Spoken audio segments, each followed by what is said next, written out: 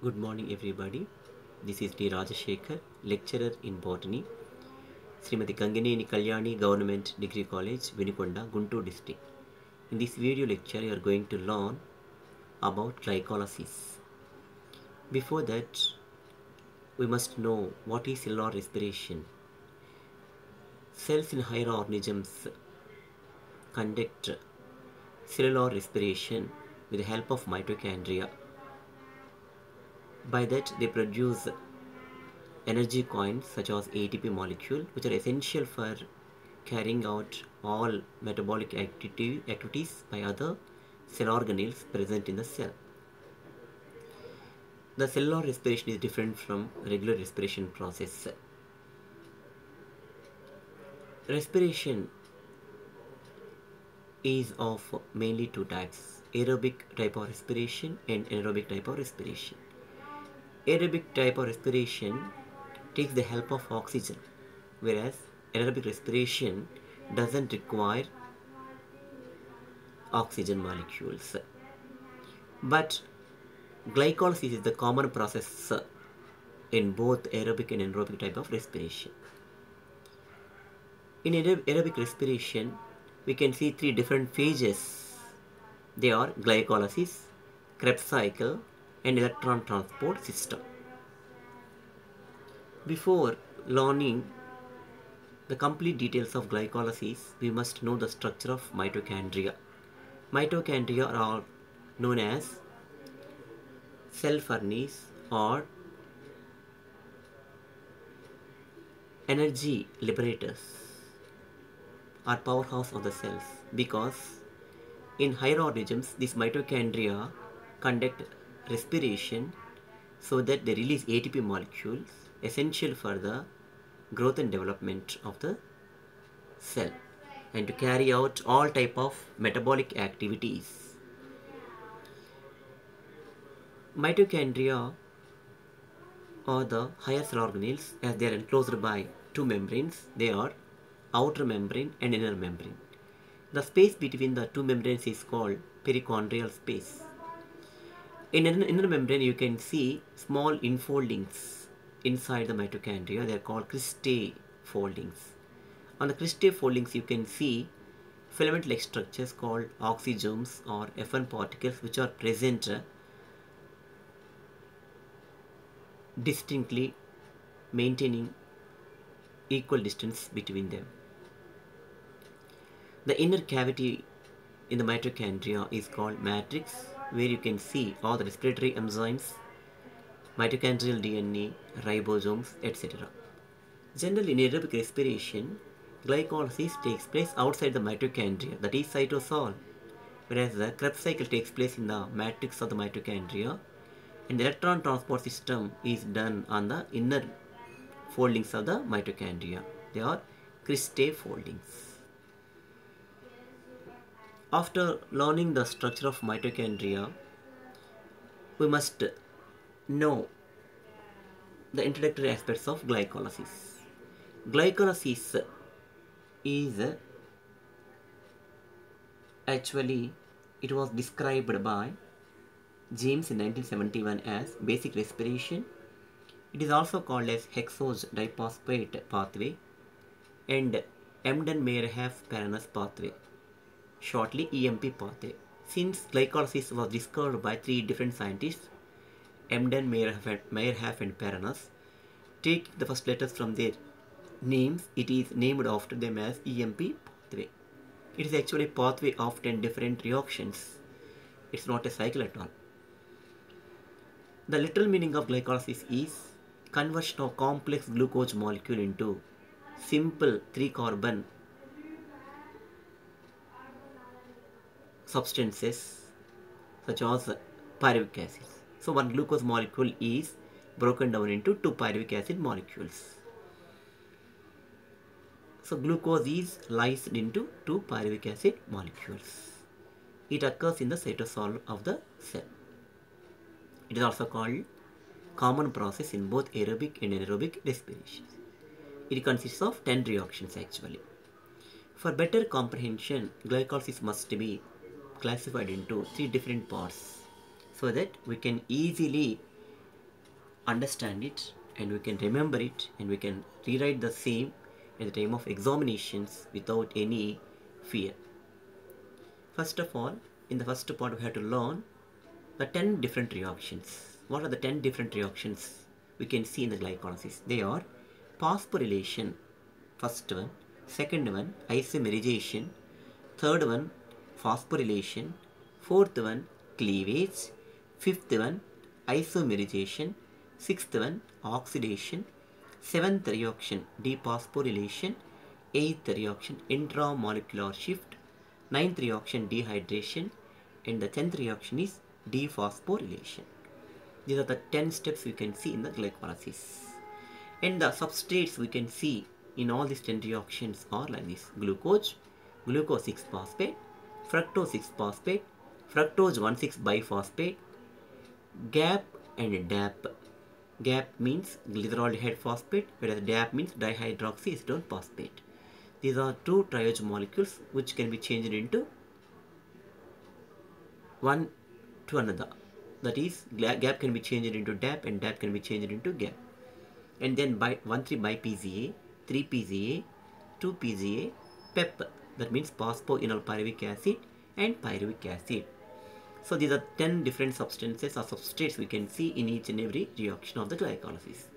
Then the enzymes involving in these reactions are kinase, first one is, second one is isomerase, third one is kinase, fourth one is aldolase, fifth one is isomerase, sixth one is dehydrogenase, seventh one is kinase, eighth one is mutase, ninth one is enolase, and again tenth we can see kinase. So here if you observe clearly, the first reaction is done under control of kinase enzyme and similarly the tenth reaction.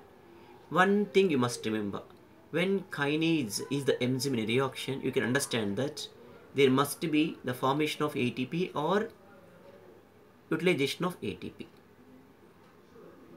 When you see an enzyme like dehydrogenase, you can call the reaction as oxidation reaction. When you see the change from one form to another form, both must be equal forms, then that must be isomerase uh, enzyme which is uh, in the reaction and the reaction is called isomerization. If you learn any process like this, it is very easy for you to remember it and there is no confusion at all for you while writing the uh, in the examinations. So better you learn the glycolysis such way. First of all, you have to write the 10 reaction names and then the 10 substrates and the 10 enzymes. Then you have to write the 10 equations separately considering the reaction name and the substrate involving in it and the enzyme. The, the first reaction in the glycolysis is conversion of glucose into glucose 6-phosphate in the presence of an enzyme kinase and the reaction is called phosphorylation. Why it is called phosphorylation here? In the glucose we can see 6 carbons. Because of this phosphorylation reaction, the phosphate ion that is taken from ATP is added to the sixth carbon of the glucose. Then it is changed to glucose 6-phosphate. You have to describe the reaction and you have to write the reaction. And the second reaction is isomerization. Here, glucose 6-phosphate is changed into the equal form of it, that is fructose 6-phosphate. Hence, this is called isomerization reaction and the enzyme is isomerase. Here, magnesium ions uh, behave like cofactors in this reaction. And the third reaction is also called phosphorylation reaction. Why it is called phosphorylation here? When ATP is utilized.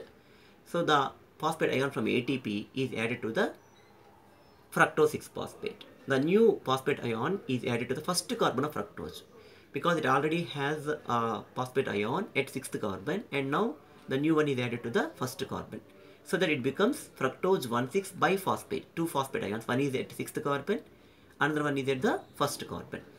It is done under, uh, done by the enzyme kinase. And the fourth reaction is cleavage. That means breaking down. Fructose 1,6 biphosphate is broken down into two triose molecules, which are similar actually. They are glyceraldehyde phosphate and dihydroxyacetone phosphate. and this reaction is called cleavage and enzyme is aldolase. These two forms are of similar type but however glyceraldehyde phosphate directly involves in the further reactions of glycolysis whereas a DAP cannot involve like that. So that DAP must be changed to GAP in order to continue the process of glycolysis. First we take GAP. So five reactions have been completed.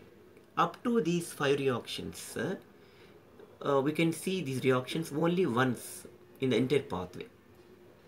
But from 6th to 10th reactions, last 5 reactions take place twice in the total pathway. You must remember that.